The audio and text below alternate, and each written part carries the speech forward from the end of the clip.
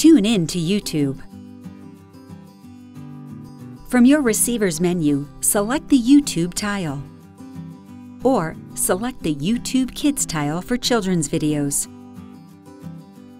If desired, sign into your account for a personalized experience. Browse videos or search for the video you want to watch.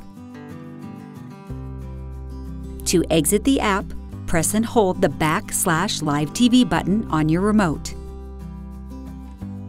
Need additional support? Visit mydish.com/chat.